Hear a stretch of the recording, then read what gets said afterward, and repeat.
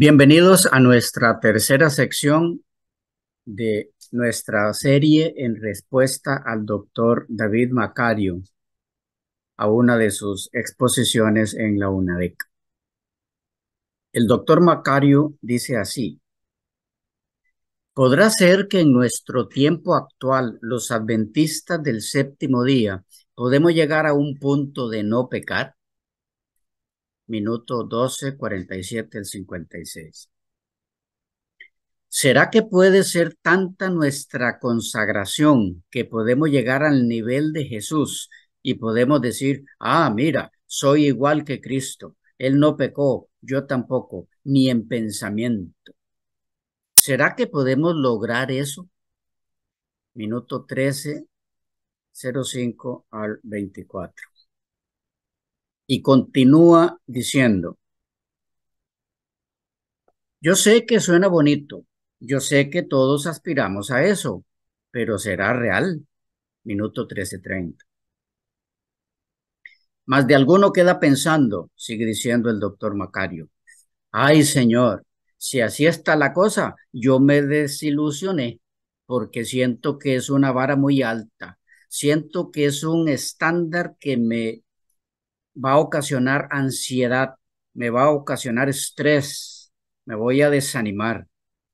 ¿Qué? No llegar a pecar ni en pensamiento. Y termina diciendo él, esto es lo que pueden ocasionar teorías como estas. Minuto 14. Y concluye agregando que nada mejor que la Santa Escritura para resolver nuestras inquietudes que tenemos a nivel teológico y en nuestra vida espiritual. ¿Qué decir al respecto, amados hermanos? Bueno, hemos decidido en esta ocasión tomar las preguntas del doctor Macario tal y como él las ha expresado y siguiendo su consejo, buscar las respuestas en el mejor lugar en el que pueden hallarse, en la Santa Escritura aun cuando dichas respuestas puedan causar algún estrés en él o en algunos otros que piensan igual. Esto porque el evitar que el escrito está produzca ansiedad o desilusión en alguien porque no calce con sus conceptos es algo ya fuera de nuestro alcance. Esperamos que el resultado sea más bien gozo, alegría y agradecimiento al Señor al meditar en sus lineamientos hacia nosotros, como lo fue para David, quien dijo, oh, cuánto amo yo tu ley, todo el día es ella mi meditación. Salmo 119, 97. Bienaventurado el hombre que teme a Jehová y en sus mandamientos se deleita en gran manera. 112, 1. Alzaré asimismo mis manos a tus mandamientos que amé y meditaré en tus estatutos. 119, 48. Y siempre en alusión a los divinos mandamientos, el salmista dice, deseables son más que el oro y más que mucho oro afinado, y dulces más que la miel y que la que destila del panal. Tu siervo es amonestado con ellos. En guardarlos hay grande galardón. Salmo 19, 10 y 11.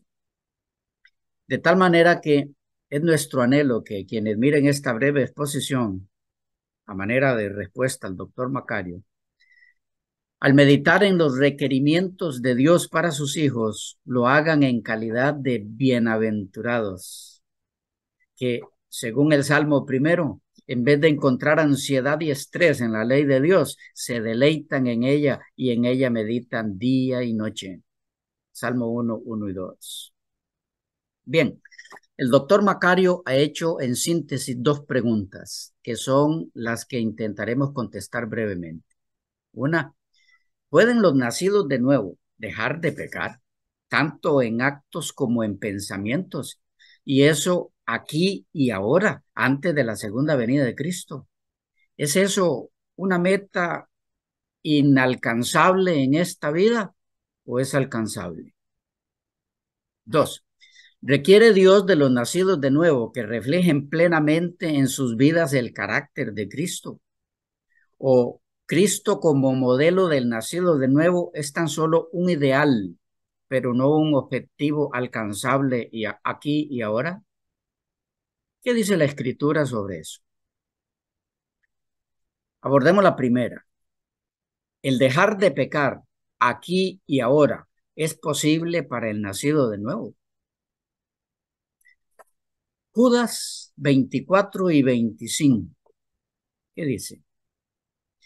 Y a aquel que es poderoso para guardaros sin caída y presentaros sin mancha delante de su gloria con gran alegría, al único y sabio Dios nuestro Salvador, sea gloria y majestad imperio y potencia, ahora y por todos los siglos. Amén. Leí y en los textos anteriores de la Reina Valera del 60. Los versículos 24 y 25 de la epístola de Judas constituyen uno de los más fuertes fundamentos del Nuevo Testamento para la doctrina bíblica de la perfección cristiana.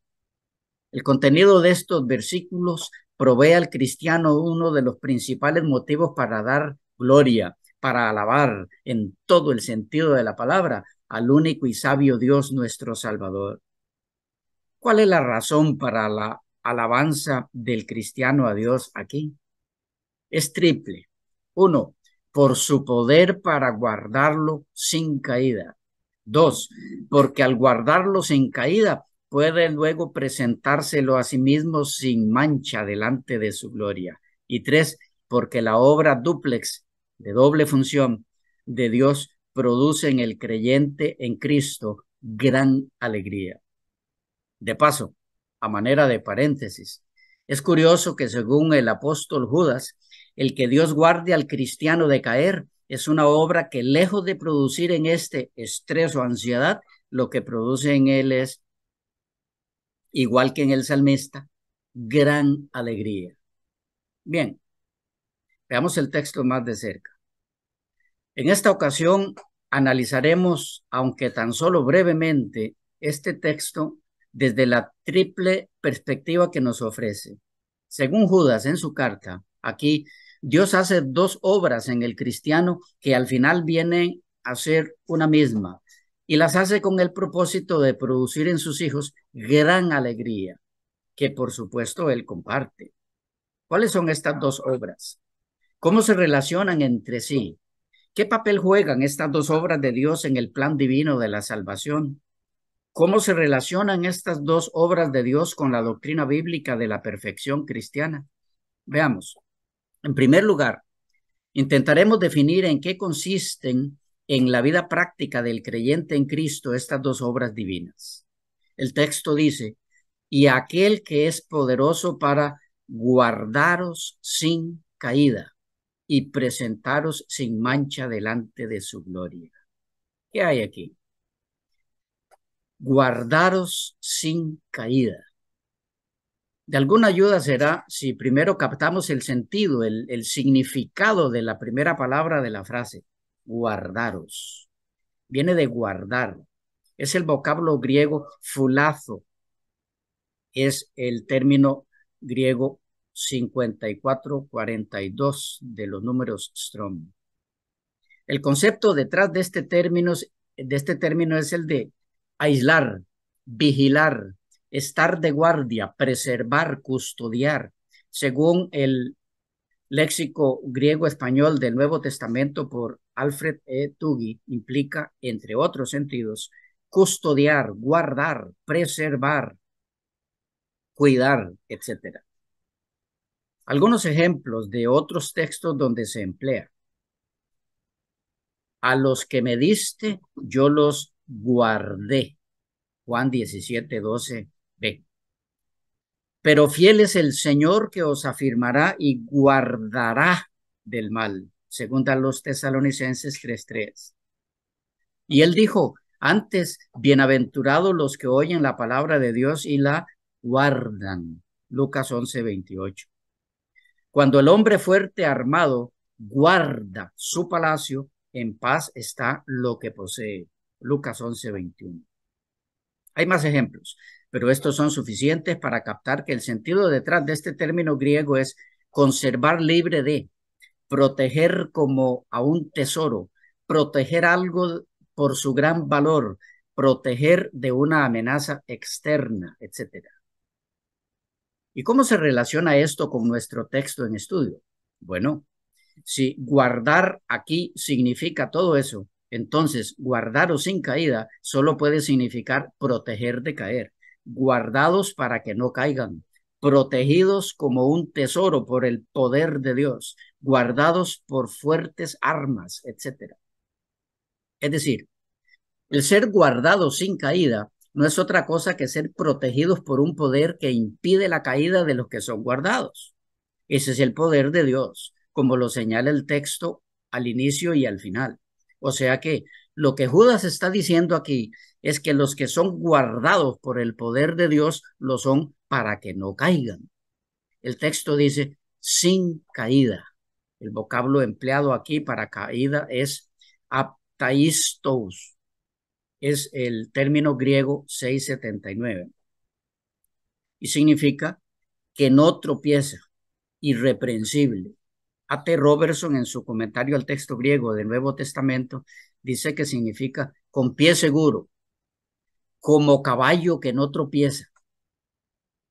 Del comentario del Nuevo Testamento, tomo 4, Hebreos a Apocalipsis, por Luis B. y Alfredo Schroeder, acerca del verso 24 de Judas, tenemos es la certeza de que Dios es poderoso para guardar a sus hijos de toda caída, sin tropiezo, que pusiera en peligro su salvación final y para hacerle llegar hasta esta gloria donde todo será pleno y júbilo. Simon J. Kissmaker dice, teniendo plena conciencia del peligro de caer en tentación y de ser atacado por el pecado, Judas exhorta a los cristianos a poner su confianza en el Dios Todopoderoso. Dice, Dios puede guardarlos. Dios es capaz de proteger a su propio pueblo como a la niña de sus ojos. Deuteronomio 32.10. Porque son su posesión preciosa. Y añade este autor, el verbo guardar en el versículo 24 significa brindar protección contra un ataque externo Dios protegió al justo Noé y a su familia de, los, de las violentas aguas del diluvio, segunda de Pedro 2.5. Pero Noé tuvo que construir el arca. Por consiguiente, el creyente sabe que así como Dios brinda los medios de defensa contra todo asalto, asimismo debe él utilizar estos medios para protegerse a sí mismo. Esta declaración incluye un elemento muy importante en la temática de no caer y es el hecho de que el, proceso juega un papel, eh, o en ese proceso juega un papel muy importante la responsabilidad humana, su colaboración con Dios.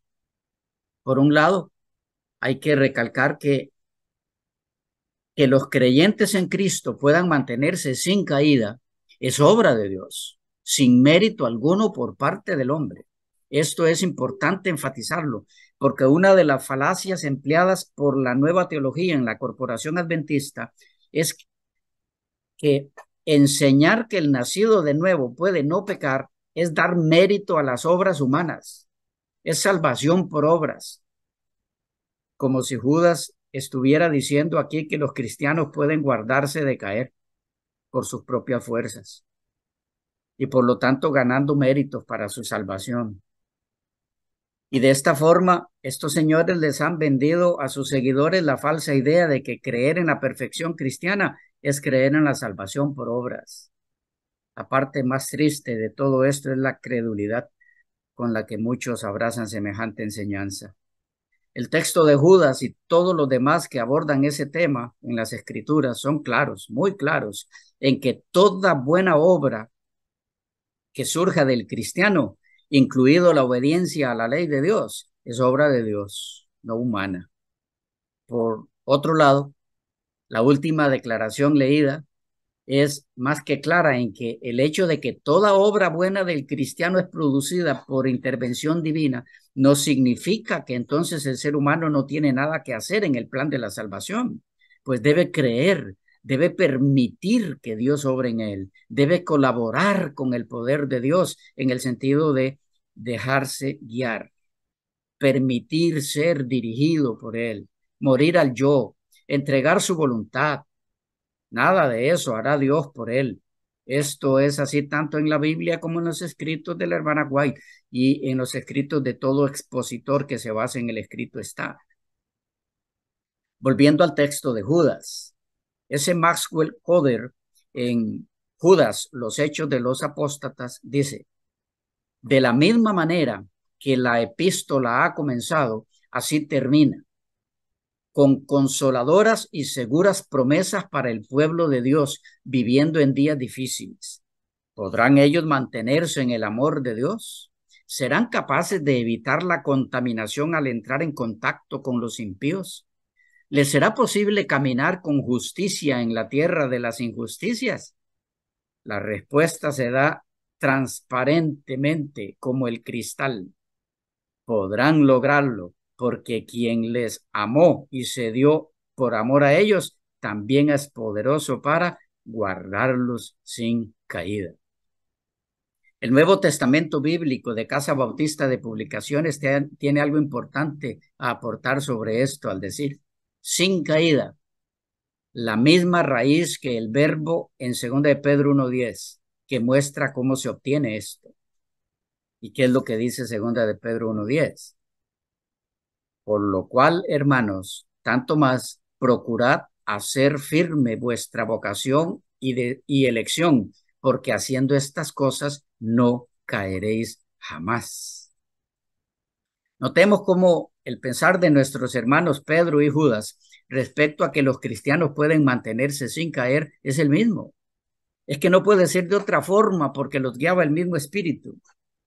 Y sobre la declaración de Pedro, Louis A. Barbieri, en su comentario a primera y segunda de Pedro, dice, Pedro apremia a sus lectores a que se ejerciten y que hagan cierto su llamamiento y elección. En el verso 10 repite la llamada al celo que hace en el verso 25. El tiempo del verbo en este pasaje remarca la urgencia de su llamamiento de nuevo afirma claramente la necesidad de cooperar de la voluntad humana con la llamada soberana de Dios. La elección se origina en Dios, pero el comportamiento del hombre demuestra la elección. El llamamiento del cristiano y la vida del cristiano no deberían separarse. El creyente que confirma su llamamiento mediante su vida verá dos resultados. El primer resultado afirmado en el versículo 10 se relaciona con su vida. El creyente nunca caerá ni tropezará. El cristiano que desarrolla progresivamente las citadas virtudes, primera de Pedro 1, 5 al 7, crecerá constantemente. Este crecimiento será prueba evidente de que ha sido elegido por Dios. El segundo resultado es explicado en el verso 11 y se relaciona con el futuro o como lo dijera A.B. Ruth en las epístolas generales, porque haciendo estas cosas no caeréis jamás. La palabra traducida caeréis significa más bien tropezaréis, y así es traducida en otras versiones. No tropezaréis para caer. Su paso será con firmeza y alcanzará el blanco perseguido. Eugenio Grimm en una explicación de lo que significan las palabras de Pedro en 2 de Pedro 1.10, no caeréis jamás. ¿Y cómo es que puede el cristiano llegar a eso? Dice en su comentario bíblico hispanoamericano, primera y segunda de Pedro, así. En el verso 10, el apóstol reflexiona sobre la responsabilidad humana frente a la dádiva de Dios. Dios es el que escoge, elección, y el que llama, vocación, al inconverso a participar en su salvación. La iniciativa es divina y no humana, y por eso queda descartada cualquier interpretación del Evangelio que entienda la salvación como el premio dado a los mejores esfuerzos humanos. Sin embargo, sigue diciendo este autor, notamos que el ser humano ha de hacer firme la elección y el llamado. Lo que Pedro tiene en mente, según el contexto, es la adopción de las virtudes enumeradas en 1, 5 al 7. Haciendo estas cosas, compare con 1, 8 y 9. Esta es la manera por la cual el cristiano hace firme la elección. Pero, continúa diciendo este autor, ¿qué se entiende por hacer firme? Es que la elección no es nuestra sin que pongamos en práctica las virtudes cristianas. Claramente que no, porque la, elección tiene su origen en Dios. Pero si entendemos que según el plan divino, el propósito de la elección y el llamado cristiano es para que el elegido haga la voluntad de Dios, nos acercamos a la respuesta. Pablo, por ejemplo, dice que Dios nos escogió en él, en Cristo, antes de la fundación del mundo para que fuésemos santos y sin mancha delante de él. Efesios 1.4.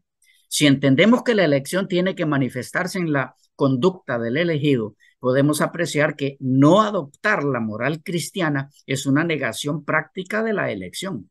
Es rechazar y votar lo que Dios nos ofrece. En cambio, el que pone por obra la ética cristiana hace cierta o firme su elección, porque marcha en armonía con el plan de Dios para su vida. Termina diciendo este autor, podemos decir que aunque la salvación proviene de Dios y que es totalmente su obra, Dios siempre requiere que el ser humano responda a su llamado. Los que siguen la iniciativa divina pueden estar seguros en la confianza de que no caerán jamás. Volviendo a Judas 24, Guy N. Goods dice, la palabra guardaros indica la protección que el Señor extiende a sus santos que son conservados en su amor. Verso 21.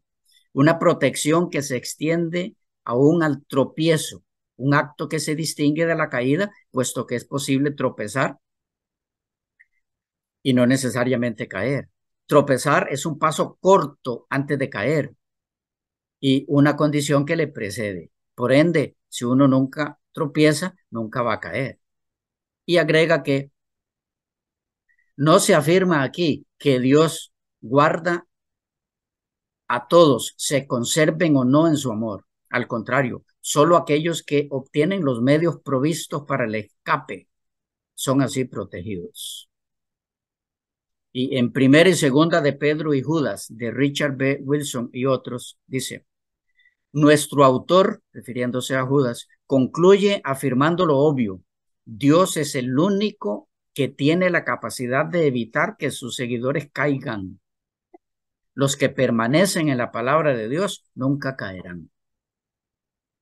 Bien, tenemos en Judas 24 y muchos otros que estaremos mirando en otras secciones más adelante, que el cristiano puede ser guardado por el poder de Dios para no caer, para no pecar.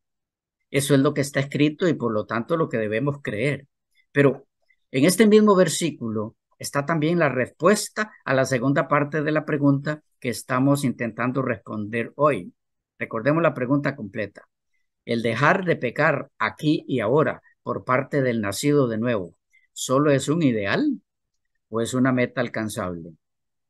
Judas 24 nos dice que no solo es un ideal, sino lo que Dios requiere de sus hijos aquí y ahora, al indicarnos que para que logren eso, él mismo se encarga de guardarlos sin caída. Si estos no se desligan de él, claro está. Pero, además de eso, el mismo versículo enseña que el mantenerse sin mancha es algo que Dios requiere de sus hijos aquí y ahora, y no que tengan que esperar hasta la segunda venida para que su carácter sea transformado en la glorificación, como pretenden hacernos creer algunos. ¿Dónde está ese otro aspecto en Judas 24? Muy sencillo. Noten que el texto dice que Dios preserva a sus hijos de caer con el propósito de luego presentárselos a sí mismo sin mancha delante de su gloria con gran alegría. Y ahora sí estamos hablando de la segunda venida. ¿Qué es lo que nos está diciendo el apóstol? Que la razón porque ellos, los hijos de Dios, serán presentados ante Él sin mancha, es precisamente porque ellos le permitieron a Dios que por su poder los mantuviera a partir de cierto momento de sus vidas, su conversión, sin caída. Ellos colaboraron con Dios, sometieron su voluntad a la de Él, le permitieron guardarlo sin caída y ahora, entonces, en ocasión de la segunda venida, Él puede presentárselos a sí mismo sin mancha. Y todo esto para su gloria, porque todo fue hecho por su poder. Nunca ha sido enseñanza de la palabra de Dios que a los hijos de Dios se les cambiará el carácter o se les transformará espiritual y moralmente en ocasión de la segunda venida de Cristo con la glorificación. Eso se escucha constantemente por los representantes de la nueva teología en la corporación adventista, pero esa enseñanza no guarda la más mínima relación con la doctrina adventista. De paso, es por eso y por otras cosas que corporación adventista e iglesia adventista no son la misma cosa. Es doctrina adventista porque es bíblica, que en ocasión de la segunda venida de Cristo será transformado el cuerpo de los salvos, su físico, pero no su carácter. Este tendrá que reflejar plenamente el carácter de Cristo antes de la glorificación en ocasión de la segunda venida de Cristo. La transformación que realizará por efecto de la glorificación en el cuerpo de los redimidos esta obra nunca es la del carácter. Esta última habrá ocurrido antes de que nuestro Señor aparezca en las nubes del cielo, cuando Él viene por ellos. En cuanto al carácter se refiere, ya ellos son sin mancha, porque le han permitido a Él que logre eso en ellos por la obra del Espíritu Santo mientras Él intercedía por ellos en el santuario celestial en esto antes de venir en su segunda venida. Esto no es solo enseñanza de Judas y Pedro. También Elena G. de White creía así. Algunas declaraciones en esa dirección. Pero el tiempo se nos fue. Continuamos en la próxima sección.